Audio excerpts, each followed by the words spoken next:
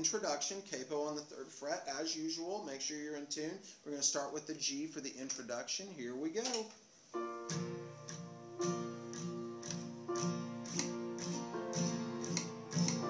Two three four five six E two three five six C two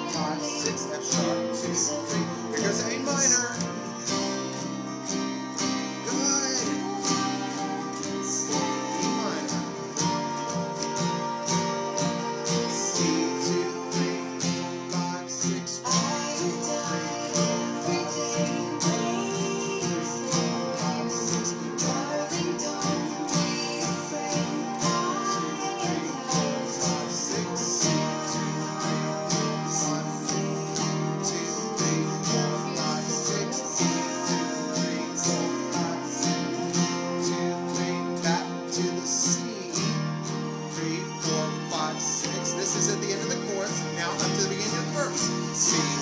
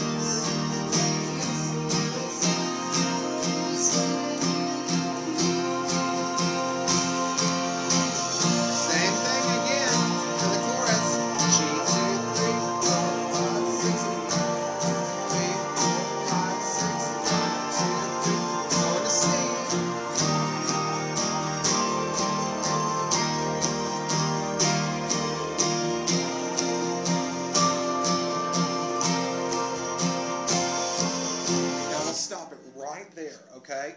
Because then we just go into the bridge and then we do the chorus again. Now let me show you on this. I think I think I, I showed you this last time, but we start with the introduction, just go through that one time. Then we go to the red part. How many times do we do this red part? Two. Good. Very good. No tricks there. Then we go to this A minor part. What how many times do we do that? One. Yes. And then the chorus, the first time we do the chorus, we do it how many times? One. Very good guess. Okay. And look, do you see those C's? Let's see, a C here and a C there. Now that that comes at the end of the first chorus, C, C. Two like little measures of C. And then what do we do after the first chorus? We go back to the red part. And how many times do we do that? Good. And then how many times do we do the A minor part? No, just one. One. And then the chorus, how many times? You're right. There you go. Now, is she singing all three of those choruses? She's singing two of them, and then and then there's the instrumental part. That's the third one. That is dang good. Way to go. Seriously. And then we're going to go to the bridge next week, okay? So strum that and you have got it. Seriously.